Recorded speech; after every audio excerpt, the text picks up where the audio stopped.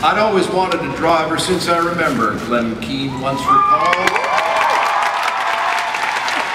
And as soon as he could hold a pencil, there was no stopping him. He had developed and devoted his life to art and an incredible career spanning almost 38 years as an animator. Born April 13, 1954, Glen grew up in Paradise Valley, Arizona.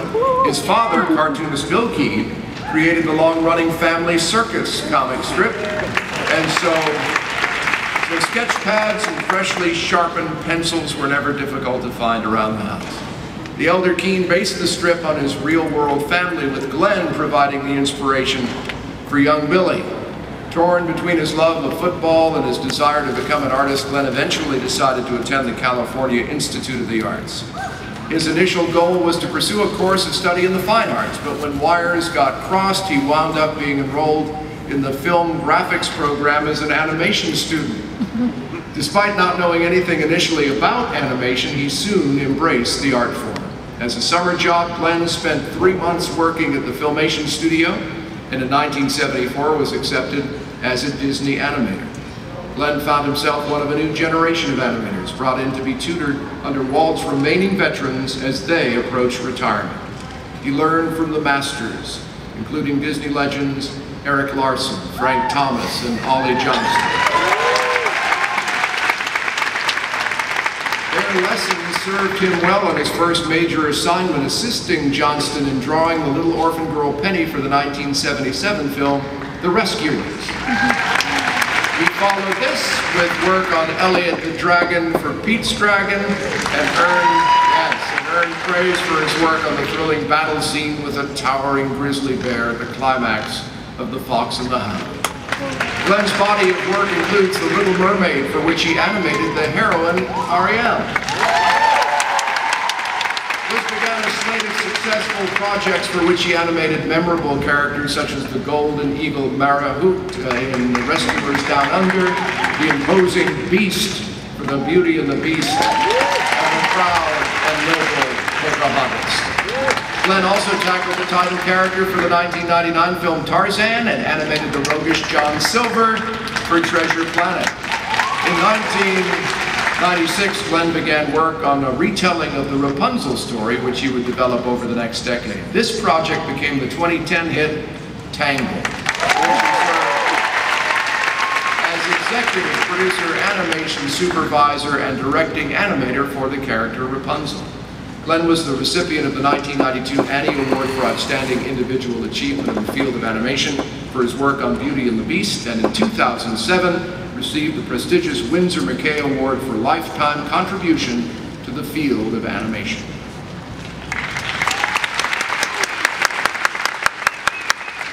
It's impossible to define Glen's artistry or measure his contributions to Disney animation. And even among the world's greatest animators, he stands apart. Glen draws, and he does it with such talent and such heart, his creations come to life, with great soul and depth and wonder. There is something truly magical about creating life with nothing more than a pen and paper. And Glen spent his career at Disney doing it over and over and over again. And even though he retired last year, he keeps on drawing because it's just who he is. And he keeps mentioning new artists, mentoring new artists, sharing his gift and ensuring his particular brand of magic can continue. And for that, we are all grateful. Glen was a creative force behind an exceptional era of Disney animation, a period fondly called our second golden age, giving us extraordinary characters and stories. He says his inspiration for some of his most famous works came from the people he loves most, and that's his family. And some of Ariel's most, most important characteristics came from Glen's wife. now you'll explain that. Tarzan's grace Surfing through the vines came from watching his son on a skateboard. His inspiration for Rapunzel came from his daughter.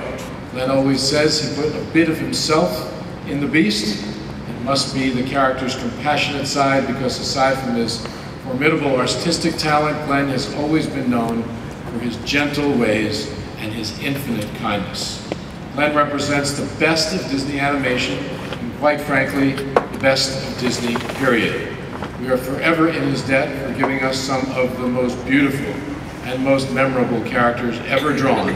So ladies and gentlemen, please welcome a true Disney artist, Disney legend,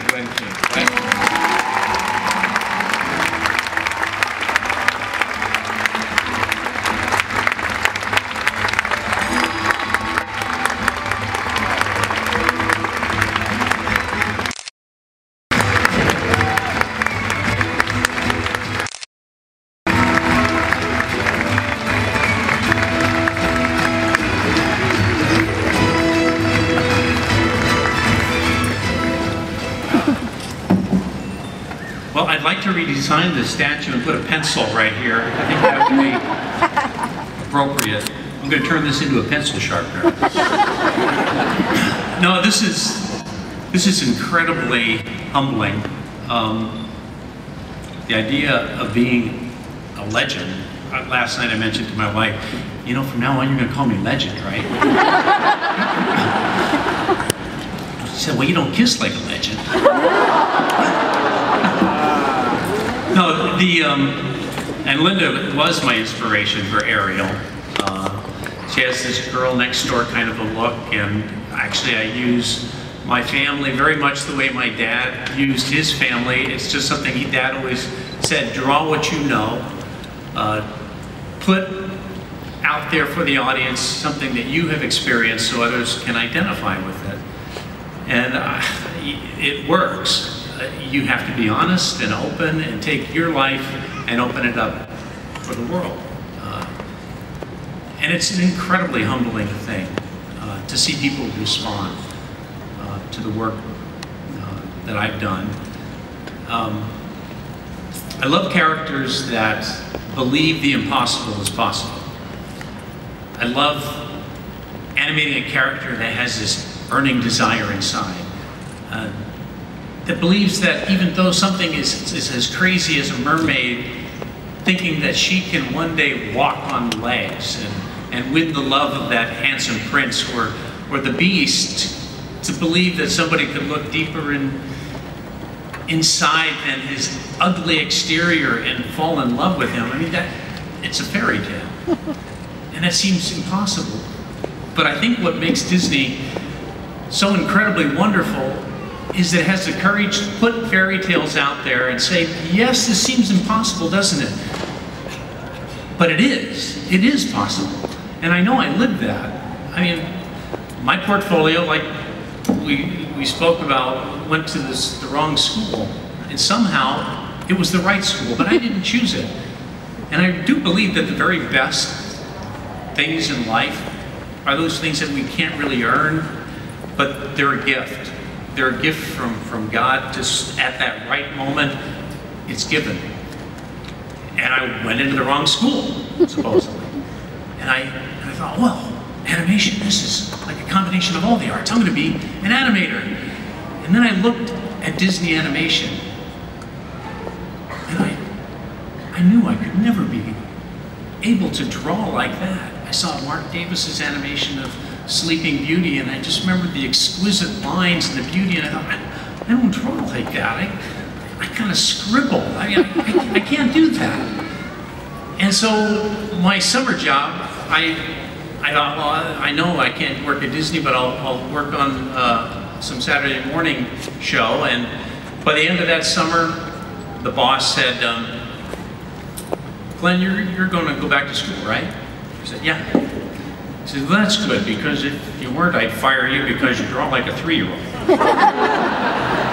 and at 19, I, I felt like I did draw like a three-year-old, but to have somebody say it, it was, was so disheartened. And, but something happened where I, I heard that Disney was training. And so I came in very sheepish one day into the halls of Disney Animation. I'll never forget the smell of the, those legendary halls. I mean, it had the smell of pencil shavings, cigarettes, and scotch. It was this wonderful, wonderful artistic incense. That, and I walked in there and I showed my portfolio to Eric Larson, one of Walt Disney's nine old men. He was kind of a big, big belly on Eric and respectable, grandfatherly type. I mean, when you have a big belly like that, you always have a choice. Where do you put your belt? You know, truck drivers down, have it down here. Respected grandfathers hold that belt above the belt. And that was Eric. But I, I showed Eric my portfolio and, and he started moving through these looking for some potential, moving faster. I spent three months on that drawing. and, and not stop, all these drawings that I thought I, I put my heart and soul into, he found nothing. And then he stopped on this one little drawing. And I wasn't even going to put it in there. It was truly a scribble, just really quick. He looked at that, and I thought, oh, I knew I shouldn't have put that in there. so I kept going all the way through. He came back to that. Can you do more like this? You like that? I think there's something here. and it was just this fast little ink sketch. And I, I knew, well, that's what I do. I mean, that's me. I can, I can do that. He said, if you can do more like that, maybe we can work with you. And I, I came into Disney and started to work with these great mentors, Frank Thomas, Ollie Johnston, Eric Larson, Gordon Kimball, Woolie Reitherman. It's just great teachers. And bit by bit by bit, it grew. And really that impossible dream really did come true for me. Uh, and I am so thankful. It doesn't happen by yourself. When I saw that animation of Disney animation, and I thought, I can't do that. I was right, you can't do it alone. You need other artists around you. The directors that gave me the opportunities, the assistants that helped me, my mentors, my father bringing me up, the inspiration of my wife, Linda, my, my children and grandchildren. Uh, I am so thankful, so, so blessed. And I just want to say, long live Disney Animation. Thank you very much.